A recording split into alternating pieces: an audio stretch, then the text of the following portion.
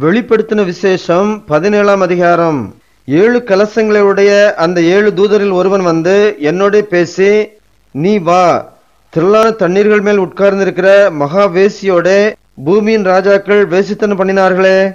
அவளுடைய வேசித்தனமாகிய மதுவால் பூமியின் குடிகளும் வெறி கொண்டிருந்தார்களே அவளுக்கு வருகிற ஆக்கினையை உனக்கு காண்பிப்பேன் என்று சொல்லி ஆவிக்குள் என்னை வனாந்திரத்திற்கு கொண்டு போனான். அப்பொழுது ஏழு தலைகளையும் பத்து கொம்புகளையும் உடையதும் தூஷணமான நாமங்களால் நிறைந்ததுமான சிவப்பு நிறமுள்ள மிருகத்தின் மேல் ஒரு ஸ்திரீ ஏறியிருக்க கண்டேன்.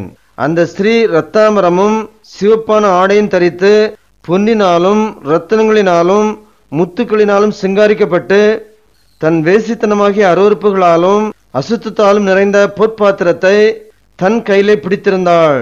மேலும் ரகசியம் மகா பாபிலோன் வேசிகளுக்கும் பூமியில் உள்ள அருவறுப்புகளுக்கும் தாய் என்னும் நாமம் அவள் நெற்றியில் எழுதியிருந்தது. அந்த ஸ்திரீ பரிசுத்தவான்களின் இரத்தத்தினாலும் இயேசுவினுடைய சாட்சிகளின் இரத்தத்தினாலும் வெறி கொண்டிருக்கிறதை கண்டேன். அவளைக் கண்டு நான் மிகவும் ஆச்சரியப்பட்டேன். அப்பொழுது தூதனானவன் என்னை நோக்கி ஏன் ஆச்சரியப்படுகிறாய்? இந்த ஸ்திரீனுடைய ரகசியத்தையும் ஏழு தலைகளையும் பத்து கொம்புகளையும் உடையதாய் இவளை சுமக்கிற மிருகத்தினுடைய ரகசியத்தையும் உனக்கு சொல்லுகிறேன்.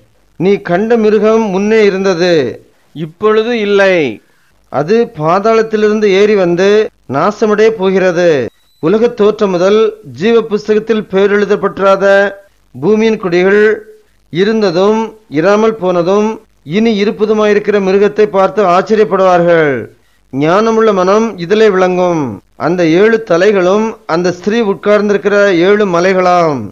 அவைகள் ஏழு ராஜாக்களாம். இவர்களில் ஐந்து பேர் விழுந்தார்கள். ஒருவன் இருக்கிறான் மற்றவன் இன்னும் வரவில்லை. வரும்போது அவன் கொஞ்ச காலம் தரித்திருக்க வேண்டும்.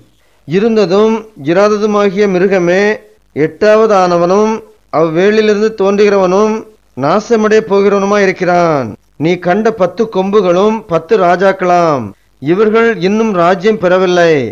இவர்கள் மிருகத்துடனே கூட ஒரு மணி நேரமளவும் ராஜாக்கள் போல அதிகாரம் பெற்றுக்கொள்கிறார்கள்.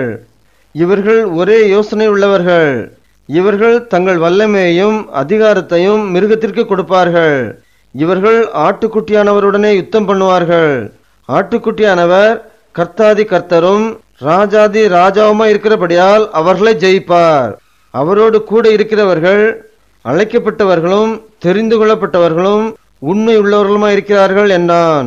பின்னும் அவன் என்னை நோக்கி அந்த வேசி உட்கார்ந்திருக்கிற தண்ணீர்களை கண்டாயே அவைகள் ஜனங்களும் கூட்டங்களும் ஜாதிகளும் பாஷைக்காரருமாம் நீ மிருகத்தின் மேல் கண்ட பத்து கொம்புகள் ஆனவர்கள் அந்த வேசியை பகைத்து அவளை பாழும் நிர்வாணமும் ஆக்கி அவளுடைய மாம்சத்தை பட்சித்து அவளை நெருப்பினால் சுட்டரித்து போடுவார்கள். தேவன் தம்முடைய வார்த்தைகள் நிறைவேறும் அளவும் அவர்கள் தமது யோசனையை நிறைவேற்றுகிறதற்கும் ஒரே யோசனை உள்ளவர்களாயிருந்து தங்கள் ராஜ்யத்தை மிருகத்திற்கு கொடுக்கிறதற்கும் அவர்களுடைய இருதயங்களை ஏவினார். நீ கண்ட ஸ்திரீயானவள் பூமியின் ராஜாக்கள் மேல் ராஜ்யபாரம் பண்ணுகிற மகா நகரமே யாம் என்றான்.